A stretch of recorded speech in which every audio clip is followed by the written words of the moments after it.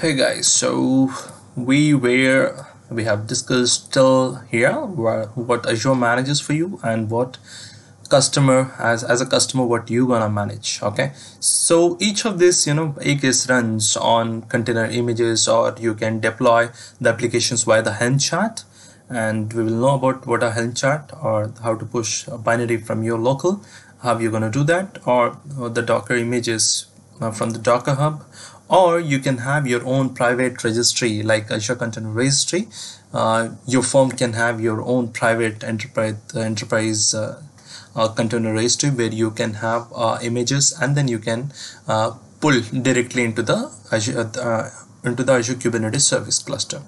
So for that, yes, Azure explicitly provides you you know the connection which you can set up directly with the ACR and you can consume the images into your cluster to spin up any of the VMs and uh, if you go a little little bit more deeper uh, understanding of uh, the Azure Kubernetes service. So take an example like you have your uh, cluster running okay? And you mentioned replica set okay so what exactly is replica set is? So replica set says like you know uh, how many copy of your particular uh, pods or the your particular service instance or your particular applications you want to uh, run on the AKS cluster.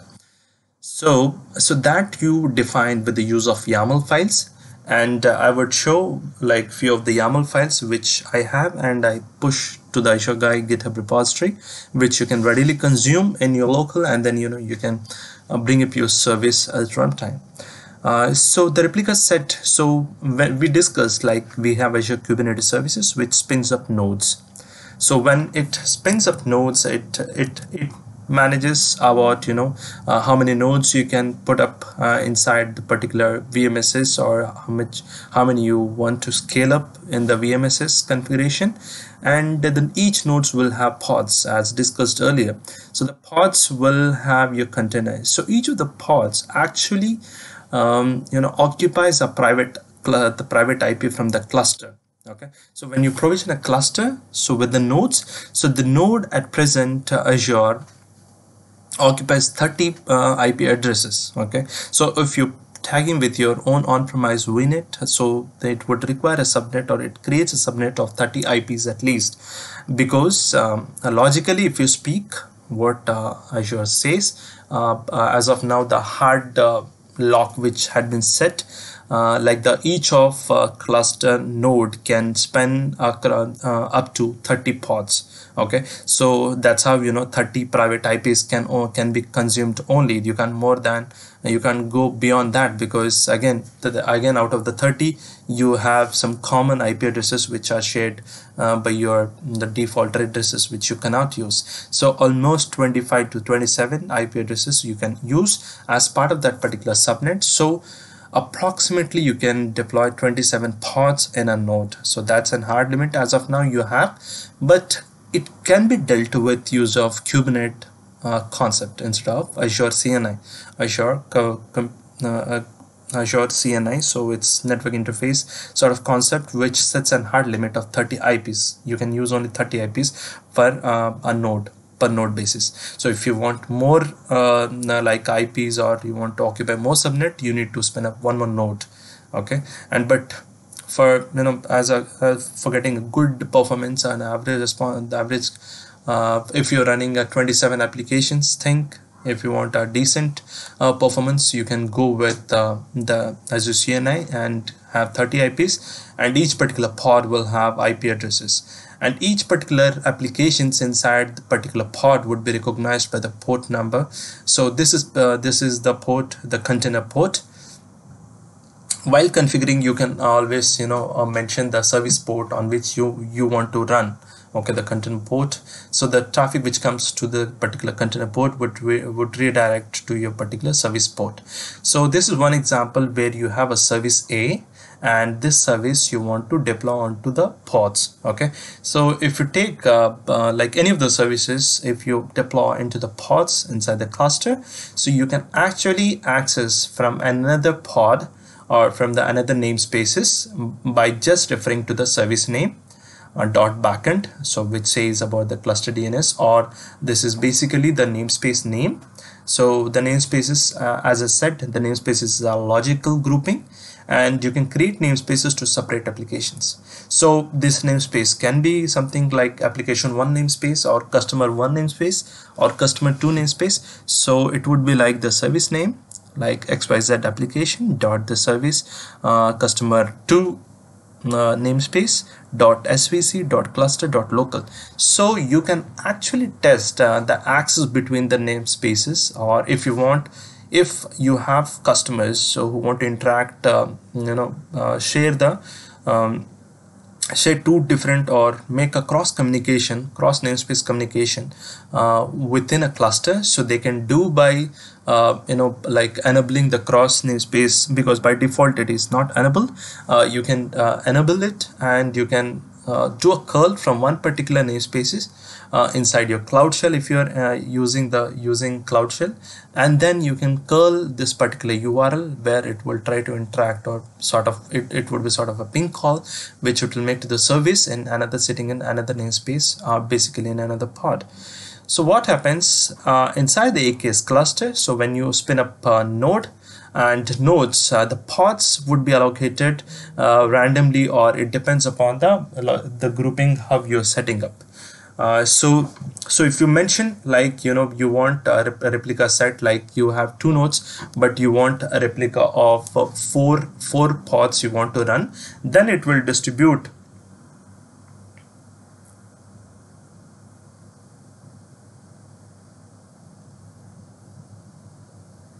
then it will distribute your particular pods across the uh, across the two nodes which you have. Like if you set the replica set to four pods then it would run two two pods in each of the nodes so that it equally distributes. In case you set a replica set to um, you know just one then it would just choose either of the node and it would just you know uh, provision your pod into that. Okay? So remember the nodes are uh, uh, the nodes can be you know it's managed by you okay? So what you can do is you know it depends upon you the node size you know whether you want to go with the ds ds series or whatever series it would depend upon you. And it also depend uh, upon you know what sort of compute application you are trying to run inside your particular service. So if it is more of artificial intelligence or more of calculations it is doing then you can you know decide your size accordingly and then uh, spin up your pod and it would do your stuff uh, so the basic Kubernetes dashboard would, would like uh, this. This is the default dashboard and uh, like where you have namespaces, pod and nodes and uh, persistent volumes. So basically, if you are persisting uh, data in the in the in the in the in the form of disks or Azure files, so that that that's what it creates persistent volumes or so-called as persistent volume claim on the Azure files or the disks and then it would store on your local hard disks of your particular nodes okay and you can see those nodes uh, those particular disks uh, by going to the by going to the MC underscore resource group. So we will come to know we I'll uh, will discuss and we'll see more about it. And you can see the storage classes and more of. And whatever namespaces you select, it would uh, you know filter out those particular resources in your Kubernetes dashboard, and it would show to you yeah we will go more about it the more you know the in upcoming videos. And these are the topics which we are also you know uh, will be discussing. And uh, you can see this is how exactly a multi-tenant cluster gonna look. And this is one particular you know, feature where uh, something called as Monaco. So the Monaco is sort of an uh, open source add-on which you can have, uh, you know, enabled on your particular on Azure Cloud Shell, so that you can. It would be easy to uh, maintain your maintain your files which you upload onto Cloud Shell to execute as you're executing your files from the local PowerShell window okay so you upload your files in here and you can edit on the fly and then you can just provision your services uh, onto AKS or any of the Azure services. And uh, as as I said, we will also go through many of the monitoring solutions. So this is the monitoring solutions which uh, I have integrated already, and we'll be talking about. And these are sort of the beautiful dashboards which you can see which we will be uh, which we, we which we will be you know enabling uh, which would get more data which Azure is not able to uh, give over the Azure monitor or the log analytics dashboard right now. So it would give the namespaces uh, level data. So you can see controller pods counts you can see how much uh, you know which particular service is using how much utilization it is doing. If the node disks are use space is more than greater than 80 percent you have, and you and the, the dashboards are uh, like open source and there are many dashboards. You just use it uh, with a tag and then you know uh, once you have metrics it will uh, put your all the content in this particular format and it would show you very valuable outputs so yes these are the exciting things which you're gonna do but be patient mm, and then we're gonna do great stuff for you. And um, with this uh, uh, let's go to our iShop portal. Uh, and this is uh, the iShop portal. Uh, so like you can get a subscriptions easily. Like one I've got is uh, is a pay as you go account. And um, so for this uh, at, at first we would be you know uh, like we can create a new resource group which I always do. So we will call it as AKS uh, RG 001 so this is uh, you know the basic uh, uh, like uh, the like we will be following the you know best practices naming standards also here. So what you can say is like um, I'll first give my alias because if you're working in enterprise then think that like you know you, you will be working across a lot of teams and you do not want to uh, mess up your uh, like resources with other resources. Uh, your resource groups overlaps with other resource groups or you know they get confusion. So what i do is um, i give the alias name. I give the service uh, service name. So whether it's PaaS uh, IaaS or something like that. So if if it is then I can go like you know I can make it as PaaS service. It is being a pass service. And uh, what is a service? And this is a resource group. And uh, the count of the resource group. So this is how I would like to provision my resource group. And um, so once I have the resource group I go with the cluster naming. So for our POC purpose I'll not go with the standard because a lot of time we go we need to enter the cluster name for our POCs so what I will do uh, let's discuss about the naming standards as well. For the cluster what we can do is like we can go with this uh, alias and the same uh, PaaS and you can go with AKS and you can say cluster and you can say 001 so this sort of naming standards you can follow as a rough naming standard. But for us we will go it as AKS and it's not an RBAC cluster so it would be an AKS cluster. Okay? So that would be simple. And it depends upon which area you want to spend. Like I'll just pin in southern part of India uh, let's see whether they will yes the image is available for services available for southern part of India. And it's always uh, you know best to take the stable version rather than trying uh, taking any preview versions uh, until unless you specifically need a specific service. So here you can see it says dns name prefix okay? So so this um, when you mention so obviously you know it's a compulsion uh, so initially it would uh, have this particular dns prefix to uh, refers refer to your if it would set uh, an fqdn for your kubernetes api server uh, and then and then if you go with the node size so the nodes are nothing but the vms right? So it says a vm size so so the vm size would be choosing up as low as possible. I would go with the smaller ones and uh, premium disk supported but um, not supported let's take.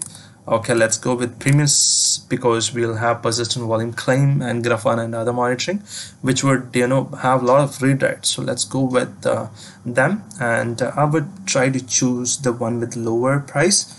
Uh, let's pick up this. It has one CPU RAM is 3.5 and IOPS is this and four data disks uh, uh, that's a maximum limitations it has.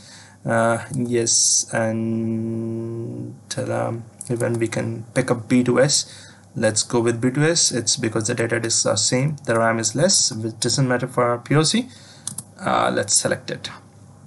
So the node count I would uh, make it to two. Uh, and then um, and then I'll go to the scale. Yes if I if the virtual nodes are visible right now for the region which I've selected like South India Southern India but the virtual uh, the virtual nodes uh, like sort of burst VMs which would come up uh, whenever uh, the traffic increases whenever it's it's needed or you can lease it or reserve it. So the VM scale sets you can enable. So when you enable VM scale sets so the auto scaling and the multiple node pools you can create okay? So you can have multiple node pools for you know uh, running out different services with different sort of category of workloads.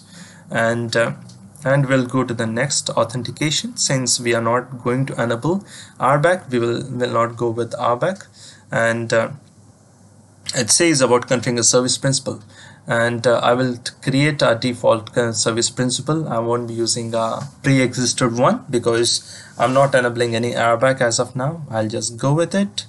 And then I'll uh, it's not a private cluster. If it is then you know like it would provision uh, you will have mapping for like you can go and map for your uh, so basically if you want to you know uh, have your own on-premise subnet or the vnet if you want to use or basically you know if you want to use a specific vnet which is tagged to your on-premise you can use it but yes we will go with the standard uh, the basic one. Uh, the load balancers uh, go with the standard because it has it gives a lot of features which you will come to know which you will be coming to know in the future and then I will set up the log analytics workspace because you know the clusters are run the when the cluster runs it has nodes pods and the containers and the applications. So there are a lot of logs which would be flushing uh, you know out of it. So I won't go with the default names default workspace but I would create rather which uh, good name and I'll create in southern part of India. Uh, let's go with South India do not support. Um, okay we'll go with the central part of India and I'll name the my service as log analytic log analytics. Again you can follow the name standard namespace standards. Analytics aks okay log analytics workspace. Workspace aks okay. So I just go create it and then I'll put up the tags. If you have something called as if you're enterprise customer then you would uh, you should tag with your billing or iteration IDs or the project billing plans etc and the, for, for me what I do is like you know if uh, I have a lot many users I uh, give the owner email. So because be the person who will be you know um, will be charged for use, utilizing this particular service okay so you can uh, you know use Azure governance and policies to make it a compulsion as well tagging compulsion. So I'll go ahead and uh, uh, I'll just review it so it would review whether it do not collapse or you know uh, uh, it do not uh, collapses or what you can see you know conflicts with existing services. It would just do a final validation and if you want to automate this particular whatever steps we have chosen uh, you're always you know welcome to download this particular ARM template. And uh, so ARM template is nothing but it's an infrastructure as a code. Uh, you can use the infrastructure as a code for uh, you know like make a, automation solution for your particular any of your particular customers where you have all the parameters which we have chosen as a parameters which can be passed upon and then you can create multiple clusters uh, within a minute using a, a, ARM template. Okay so as of now we'll not uh, concentrate on the ARM template. We'll just go ahead and create it so I'll meet you on the next video uh, with the uh, with the cluster created because the cluster takes the cluster uh, rolling out of the cluster takes at least uh, uh, 10 to 15 minutes. Uh, it depends upon the nodes how many nodes you are going to spin up. Anyway we are not talking about we are just spinning up the infrastructure as of now. We are not spinning up any services pods anything else. So that